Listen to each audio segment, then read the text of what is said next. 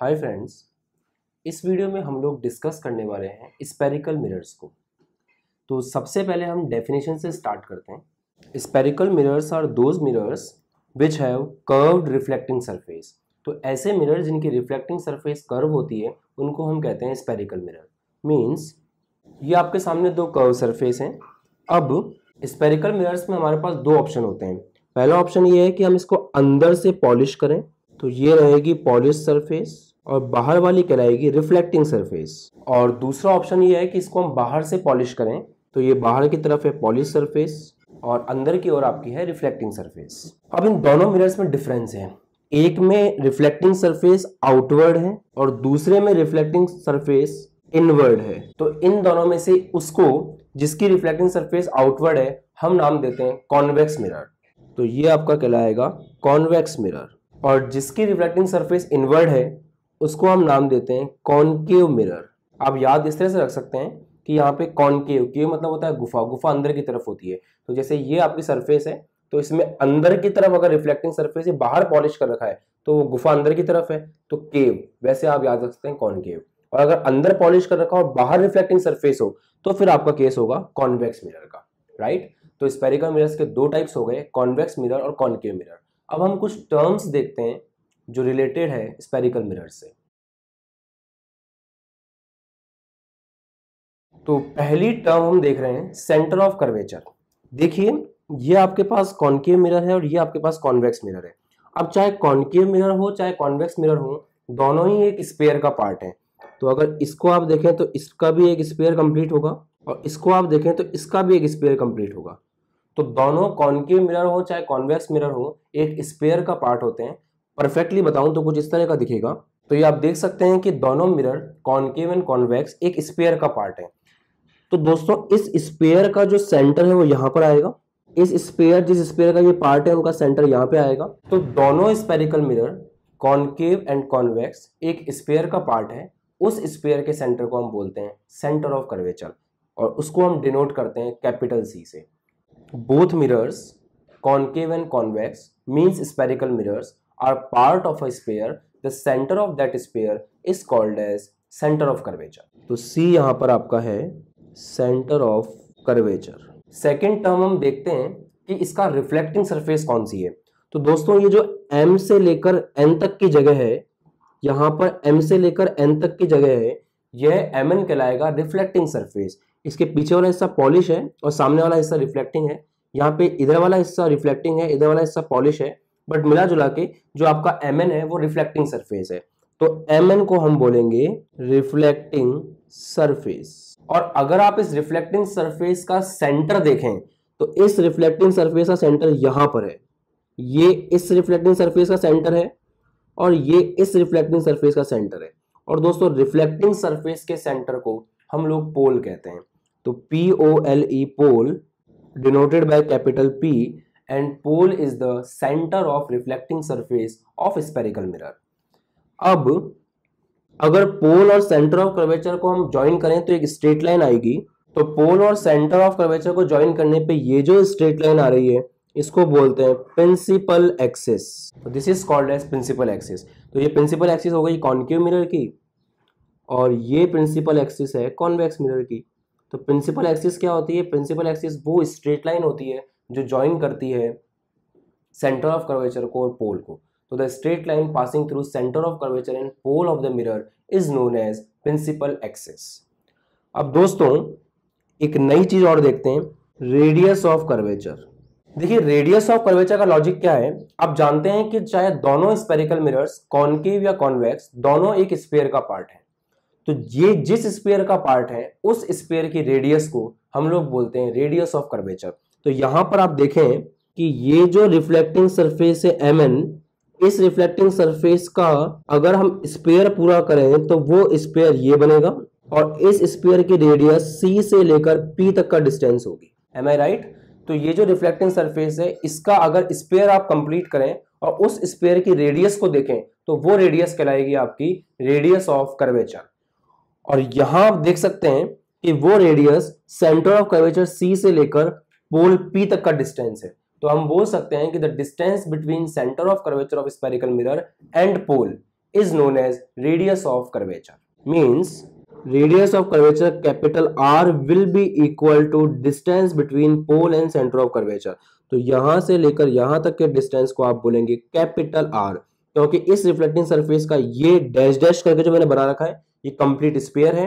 और इसकी रेडियस होगी सी से लेके पी तक का डिस्टेंस और same in the convex mirror यहाँ पे इस एम एन सरफेस का जो स्पेयर है वो राइट हैंड साइड में कंप्लीट हो रहा है और ये है उसका रेडियस ऑफ़ कर्वेचर तो the spherical mirrors either concave और convex are part of a sphere the radius of that sphere is called as radius of curvature denoted by capital R अब नेक्स्ट चीज़ हम डिफाइन कर रहे हैं focus तो focus को समझते हैं.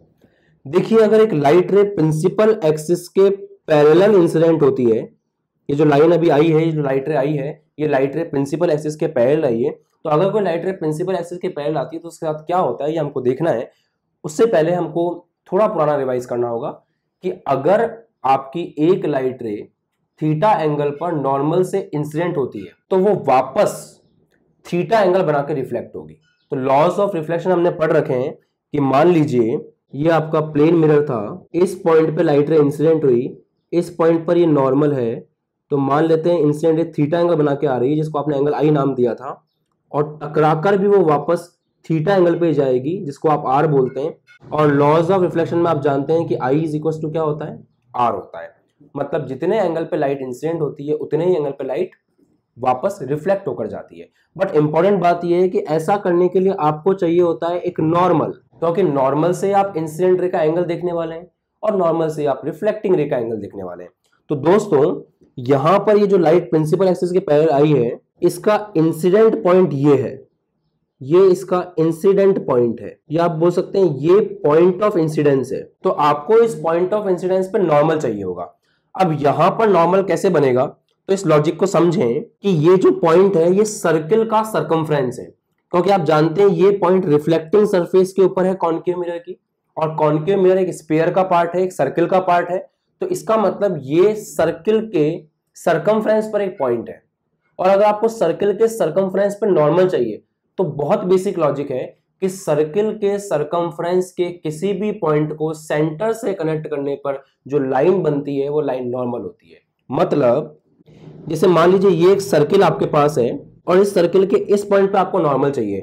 तो बस आपको सेंटर से उस पॉइंट को कनेक्ट करना है। ये बन गई 90 की लाइन आपको सरकमफ्रेंस के इस पॉइंट पे नॉर्मल चाहिए तो आपको इसको सेंटर से कनेक्ट करना है। बन गई 90 की लाइन आपको इस पॉइंट पे नॉर्मल चाहिए, आपको सेंटर से कनेक्ट करना है। बन गई 90 की लाइन आपको इस पॉइंट पे नॉर्मल चाहिए सेंटर से कनेक्ट करना है। बन गई 90 की लाइन मतलब अगर आपको सर्किल के किसी भी पॉइंट पर कभी भी नॉर्मल चाहिए तो उस पॉइंट को सेंटर से कनेक्ट कीजिए।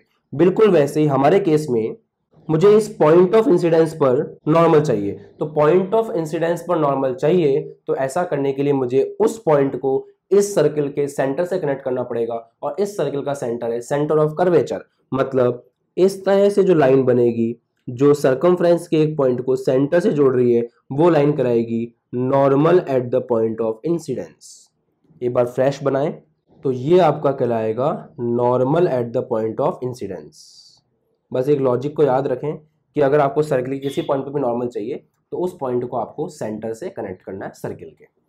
अब देखिए, ये लाइट एक पर्टिकुलर एंगल बनाती हुई आई है नॉर्मल से। मान लेते हैं वो एंगल आई है।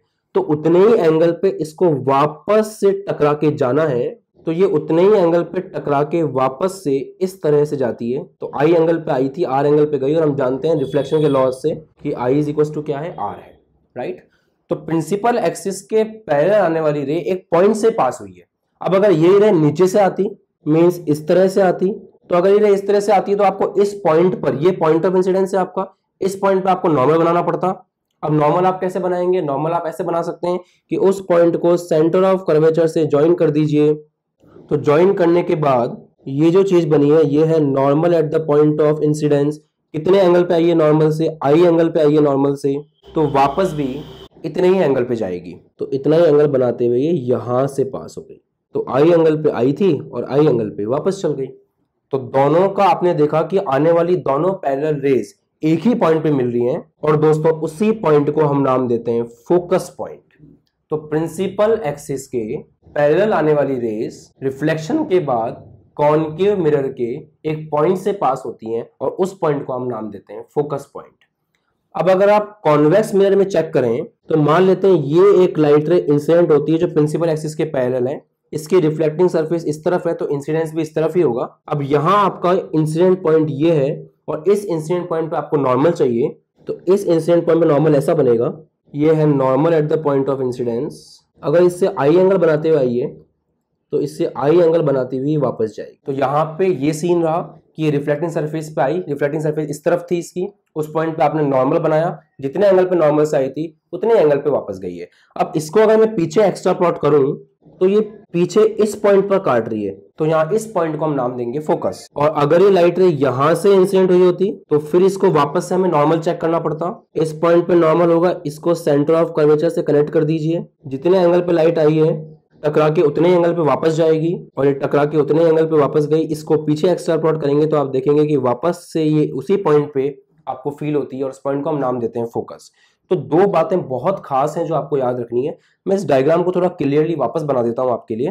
तो यहाँ आप देख सकते हैं कि इस कॉन्केव मिरर में जो लाइट रे इस प्रिंसिपल एक्सिस के पैरेलल आती हैं और जिस पॉइंट पर इंसिडेंस होती है उस पॉइंट पर नॉर्मल बनता है, उस पॉइंट को सेंटर से कनेक्ट करने पर। सर्किल के सेंटर को अगर कनेक्ट करते हैं हम किसी पॉइंट से तो नॉर्मल बनता है। नॉर्मल से जितने एंगल पे आई है आई एंगल से आई है आई एंगल पे वापस जाती है। यहाँ पे i is equal to r है और इधर भी i is equal to r है। तो होता यह है कि जितनी भी रेस प्रिंसिपल एक्सिस के पैरेलल आती हैं, वो मिरर से टकराने के बाद कॉन्केव मिरर से टकराने के बाद सारी एक पॉइंट पे मिलती है। आप देख लीजिए, ये फ़र्स्ट रे आई टकरा के फोकस पे मिली सेकंड रे आई, टकरा के फोकस पे मिली। ऐसे और भी रेस जो प्रिंसिपल एक्सिस के पैरेलल आएँगी, वो सारी कहाँ मिलेंगी? फोकस पर। तो कॉन्केव मिरर के प्रिंसिपल एक्सिस के पैरेलल आने वाली रेस जिस पॉइंट पर मिलती हैं, उस पॉइंट को हम नाम देते हैं फोकस पॉइंट जबकि कॉन्वेक्स में देखोगे तो जो रेस प्रिंसिपल एक्सिस के पैरेलल आई है, मान लीजिए आप पहले इस रे को कंसिडर कर लीजिए तो ये रे जितने एंगल पे आई, अब एंगल कैसे चेक किया आपने? वही जिस पॉइंट पे इंसिडेंट हुई, उस पॉइंट को सेंटर ऑफ़ कर्वेचर से कनेक्ट किया, जो लाइन आई वो नॉर्मल है, उससे जितने एंगल आई पर आई, उतने एंगल आई पे वापस जा रही है। और इसको आर नाम देना चाहे तो भी कोई दिक्कत नहीं, क्योंकि i is equal to r है। मीन्स यहाँ पर जो रे पैरेलल आ रही है, वो इस तरह से डाइवर्स हो रही है कि अगर उसको पीछे मिलाए, आप देखिए, ये फ़र्स्ट रे ऐसे डाइवर्स हुई, ये सेकेंड रे ऐसे डाइवर्स हुई बट दोनों को अगर पीछे एक्स्ट्रा प्लॉट किया आपने यहाँ पर तो वो एक पॉइंट पे मिलती हुई आपको फील होती है और उस पॉइंट का नाम यहाँ पर है फोकस पॉइंट तो हम ये बोल सकते हैं कि the rays which are coming parallel to principal axis after reflection from concave mirror meet at a point that point is called focus of concave mirror और कॉन्वेक्स के बारे में आप बोल सकते हैं कि the rays which are coming parallel to principal axis after reflection appear to meet at a point ये सारी रेज आपको फील हो रहा है कि फोकस पे मिल रही है। वास्तव में नहीं मिल रही, वास्तव में वो डाइवर्जिंग आगे जा रही है बट पीछे मिला रहे हैं तो कहाँ फील आ रहा है? फोकस पे मिलने का फील आ रहा है। तो appear to meet at focus called as focus point of convex mirror और दोनों को कंबाइन करके लिखना हो तो वो डेफिनेशन ऐसी बनेगी कि the rays which are coming parallel to principal axis of spherical mirror after reflection from the mirror it meets और appear to meets at a point called as focus of spherical mirror. यहाँ पर concave में वास्तव में मिलती है focus पे और कॉन्वेक्स में मिलती हुई फील होती है। तो हम ये बोल सकते हैं कि concave mirror has real focus and convex mirror has virtual focus, right? तो ये डेफिनेशन थी फोकस की। और दोस्तों, इस फोकस पॉइंट का पोल से जो डिस्टेंस है मतलब ये वाला डिस्टेंस, और यहाँ चेक करें तो फोकस का पोल से डिस्टेंस, ये वाला डिस्टेंस, इसको हम बोलते हैं फोकल लेंथ, स्मॉल एफ़। तो कैपिटल एफ़ है फोकस पॉइंट और स्मॉल एफ़ है फोकल लेंथ। तो फोकल लेंथ कैपिटल एफ़ से लेके पी तक का डिस्टेंस है। तो ये हमने डिस्कस किया terms related to spherical mirrors. यहाँ फोकस इंपॉर्टेंट था क्योंकि यहाँ आपने सीखा कि स्पेरिकल मिरर के एक पॉइंट पे नॉर्मल कैसे ड्रॉ करते हैं, कैसे लाइट को इंसेंड कराते हैं, कैसे लाइट को रिफ्लेक्ट करते हैं और इससे पहले प्लेन मिरर था। तो प्लेन मिरर में बेहद आसान था नॉर्मल बनाना। यहाँ थोड़ा सा ट्रिकी है तो इस लॉजिक को याद रखें। इन टर्म्स के नोट्स बनाएँ और प्रॉपरली अच्छे तरीके से रे डायग्राम्स की प्रैक्टिस करें। ये जो मैंने बनाया, ये रे डायग्राम कहलाता है। तो अच्छे से, सुंदर तरीके से आप बनाएँ ताकि एग्ज़ाम में आपका प्रेजेंटेशन अच्छा हो और मार्क्स भी आपको अच्छे मिले। So thanks for watching. Please subscribe the channel and press the bell icon for daily notifications.